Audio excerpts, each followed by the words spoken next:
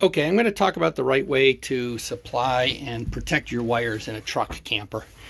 Uh, all right, basically every time you run uh, electricity over wire, particularly in a mobile solution where things are getting abraded and jiggled and you can degrade the insulation and it's in immediate contact with metal, you can get shorts. And the shorts will flow electricity into the ground uh, which is what your chassis is used for, and this is all hooked together. And you'll have an over amperage and you can melt the wires. And I didn't actually believe it was all that dangerous until one day I was running my trolling motor and the motor got switched to the on position. Um, as I was up against the shore, the propeller couldn't move because it was against a bush. And within 30 seconds, that motor trying to pull through regular trolling motor wire, which is about like that, heated it all up. The wires caught fire, the insulation caught fire, and the terminals on the battery, the lead terminals, melted and were dripping into my boat. All of that in about eh, 30 seconds to a minute. So you do need to fuse and protect it. So here's what I've got. A single fuse block. This happens to be from D, uh, Blue Sea, which I think is great. And you run power and feed power into there. There's the positive and there's the negative. And all that comes down to this one single power cord. And I'm on a 10 AWG wire, which is enough to flow 30 amps. Power stations, if they're a decent one, will come with a 30 amp 12 volt socket. If it doesn't have that, you don't want it for a truck camper. You want to be able to do one single feed, plug in one plug, and feed the entire system so you don't have to be plugging in and out and messing around. I can unplug this one thing, grab this, and take it inside. And then all of the wires in the camper are permanently run to that. Okay, now what I've got on there right now is here coming out on a 15 amp fuse on the appropriate wiring, the uh, wire for a diesel heater. Okay, that diesel heater needs to run a 10 amp for startup, and then it only takes about 1 amp, 12 volt, okay, 110 watts or so, uh, and then down to about 10 to 60 watts on running, depending on the fan speed. I've also got another thing here, which I made, um, and I believe that is 14 AWG to this device right here. And all that is is something for up in the bed that I can mount on the rail. And it has a 12 volt cigar lighter there for my 12 volt DC blanket that I can plug in up there. And then I also have this nice dual USB and uh, it's got a little voltage reading right there. So I can plug in phones and charge phones, laptops, well, phones at least, and iPads and uh, run them up in the bed area, okay? So I've got that down here right now, but that works good. So right now I've only got those two. I'll take the two things Tune supplied, the fan and the lights, and wire them in there, but I didn't want to cut their connections that they supplied until I looked at them and saw if they worked. Now let's talk about what sort of connections you should be using. There's only two connections that you should really be using for high amperage DC, a good, you know, the, the main one. This is an Anderson power pole, and that's good. That'll go up to 30 amps or above, depending on which ones you get, and that's at least a 30 amp one. Some power stations come with this. That's a good solid hookup. My power station didn't happen to have that. It come with something called an XT60. All right, and you can get all these on Amazon. And I like the XT60. It's nice and compact and you plug it in it's got a solid lockup. So there you go. I plug in one single thing and it goes to my fuse box. And each wire is fused so that uh, the fuse will blow before the wire melts uh, depending on what the draw is. All right. Okay I'm inside my Tune M1 on a Tacoma six foot bed third generation. And I'm going to just show uh, where the electrical goes. I couldn't get this information people very difficult, not on the website. So here's the uh, MaxxAir. I think this is the 6400 uh, fan. And uh, just a demo of that, you pull down, you turn it this way, and it lifts up the back, opens it up from being rain sealed. You stop, you can shove that back up in there, And then here it's just got oh, speed switches. You can reverse the fan and turn it on and off. And you can actually hold the temperature, but uh, I probably won't use it that way. All right, and um, I'll just leave that up for now. The wire for this comes down, goes down this channel here underneath, and Tune is cleaned up and, and put this plastic on uh, the channel here. So that uses that uh, channel in the back. It comes back down here, goes down behind the bar where I've got my insulation. You can see it popping down behind this bar to right here. And that goes on up in this channel on the driver's side up to the front driver's side where it pops out and they leave it bundled with a lot of wire. The other thing you've got is the wire here for the LEDs. And the LEDs come down from, that's these halo LEDs that go all the way around. The entire camper has them, okay? Which is really amazing. Nice, pre-done lights. But that, uh, that LED switch is a dimmer that you can turn up and then turn back down. And it goes with a, uh, oh, probably a 55 25 port connection and it goes along with the other wire and runs up here. So here's what Tune gives you. Popping out of the front, they give you this wad of wire. Okay, so it's plenty to reach anywhere in the camper, if wherever you want to put your power station.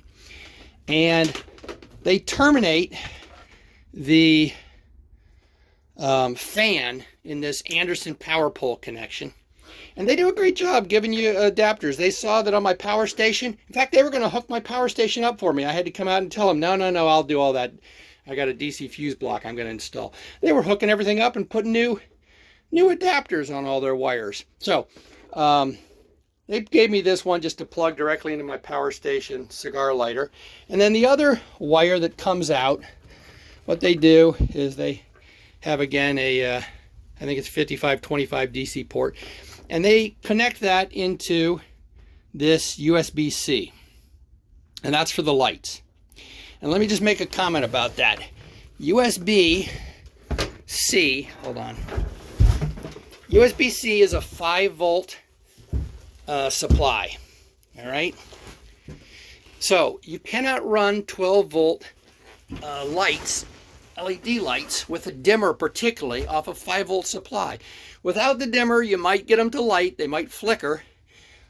Um, and, sorry, off a 5 volt supply. They might flicker, but with the dimmer, you have all sorts of problems on under voltage.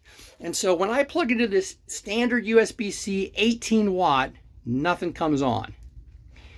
When I plug into this 100 watt, which is USB-C PD, I think that's power demand. That is a different kind of plug. And what that means is there's a microchip behind that port that this port can change the voltage.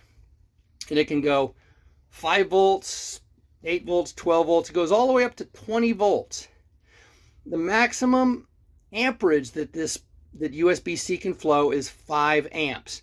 If it does 20 volts at 5 amps, then you're 100 watts but it always defaults to 5 volts so you don't burn out phones and stuff you plug it into. In order to get it to go to 20 volts, the thing you're plugging in has to have a microchip, a smart chip that tells this port, hey, I don't want 5 watts, I can take 12 watts.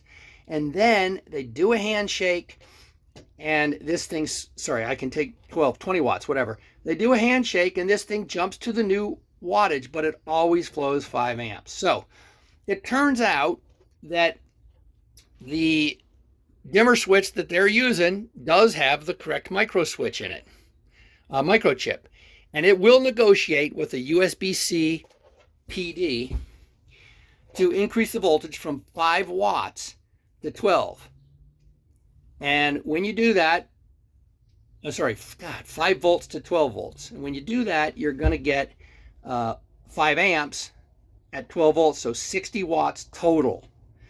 And these lights will take 75 watts total if you uh, have the correct power supply. I think running any 12 volt thing off a USB that starts at 5 volts is just a bad plan. So I don't think they should be powering the uh, particularly lights on a dimmer switch because people are going to plug them in. Most people don't know this. They're going to plug it into the wrong one and they're going to have blinking lights or they won't turn on or it doesn't negotiate good with their power station's chip and they get problems. This ought to be run off a regular 12 volt supply. All right. But for those wondering, the way it comes is a USB PD. And if you have one that says 100 watts, it actually works, but it's not work. It's not 5 volts like this supply is. They're negotiating for 12 volts and then it works, okay? So I'll turn that on. I'll turn on my DC power on this. This happens to be a Pecron Ugh. E1500. It's got 1536 watts. So I got the DC power station on and I'll just go over here now and flip this on. And there you go. You can see I'm going to dim it down to off and flip it back on. So you got lots of light in here. All right.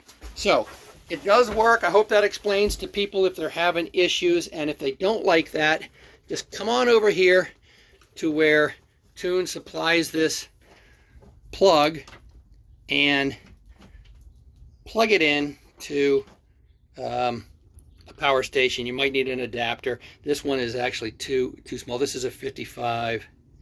Nope, that's not even a standard one. So you might need to get an adapter for that. Um, that uh, will fit. All right, yeah, that is a 55, uh, 25. All right, but it's you're not going to have any problems if you just get rid of the USB uh, extension that they give you. Get the right adapter for your power station, hook it onto the end they supply, and shove it in. Okay, I want to talk about DC power a little bit more. Uh, that's the Blue Sea uh, DC fuse block. I think it goes up to 36 volts and it's got 12 uh, stations on it. It can flow, I think, 100 uh, amps, um, and any one circuit can flow 30 amps. You're not going to use that much. I'm supplying it off a single 30 amp um, plug, which goes into the ends and comes down here into an XT60 and plugs into my Pecron power station right here which is a 12 volt 30 amp supply. That's enough to do everything in my camper. So here's the things that so far I've found that I want on DC. First, I've got a uh, Chinese diesel heater. This is a Vevor, and uh, you need to be able to flow 10 amps for that for startup. All right, so I have it on a 15 amp uh, circuit breaker. You round up to protect the wires. Um, that can flow 10 amp. You round up 100, sorry, 125%, and then you round up for that. So 15 amps. All right, the other one I have is another 15 amp plug going to this extension uh, that goes to USB chargers, a voltage voltage meter for my battery setup, and a uh, cigar lighter. That thing gets anchored up above here in the bed area for me to plug my 12 volt heating blanket in. The 12 volt heating blanket I uh, set that up on a 14 AWG and to allow me to run um, like a full 10 amps of uh, that the cigar lighter can supply, uh, 10 amp DC, and run this thing on high. It turns out this only uses uh, 66 watts, which at 12 volts is 5 amps. Okay, volts times amps is watts. So that plus the USB uh, ports on that thing, even if I'm uh, charging a iPad or something, easily can run on a 14 AWG uh, wire with a 15 amp fuse protected. I could probably do a 10 amp fuse, but the wire's fine for 15 amp. All right, so those are the two I got plugged in. The one other things that come with the camper is uh, lighting uh, the halo lights on the tune, but your LED lights, that's going to be a small 5 amp total draw probably, uh, maybe 60 watts, 70 watts. And then I happen to have a uh, MaxxAir fan. Most people are going to have some form of probably a MaxxAir fan on truck campers if it's decent. It's the best one on the market. and that thing only pulls 36 watts power when it's running on high. Um, and so, you know, only on uh, setting 10, you get 2.9 amps or so. And most of the time it's 0.1 amp, all right? So we're talking um, 0.1 amp times 12. Um, we're only talking uh, one and a half um, watts or so, running that on low. All right. And people have told me that, uh, Phoenix people told me that uh, running it on one or two all the time when you're sleeping is great uh, to just get moisture and have no condensation. And even in the middle of the summer, they're only running it on five or six. And at the five or six setting, um, it's only pulling uh, about one amp, which is 12 watts power. All right, so not very much power at all. So you can run that all night long.